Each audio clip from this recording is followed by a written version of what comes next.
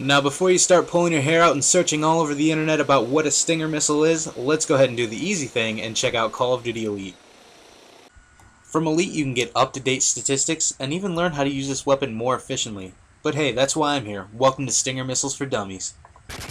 Unlocked at level 40, the Stinger missile is the strongest one in its class. This launcher is lock-on only, but it can take out aircraft support within one missile.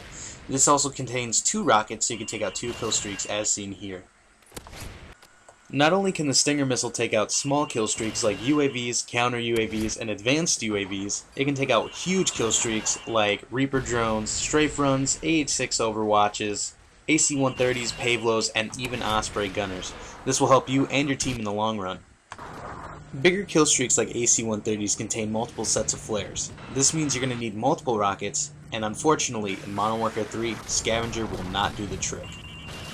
But, did you know that the Stinger missile can also act as a weapon? Even though it's not well known, you can actually lock onto assault drones using the Stinger missile. And demonstrated in a private match, you can see I picked up a multi-kill, which means you can actually get kills with this weapon. Even on low-flying recon drones like you see here, I picked up a triple in this private match. I hope you all enjoyed this first episode of For Dummies. It's supposed to be a really, really informational series, and I'm not trying to make it seem boring or anything, but there's actually a lot of things a lot of people don't know about Stinger missiles, and I hope you all learned something today about it. But if you could do me a favor and please pick one of these items for next time, a trophy system or a throwing knife, because there's a lot of cool things we could do with them.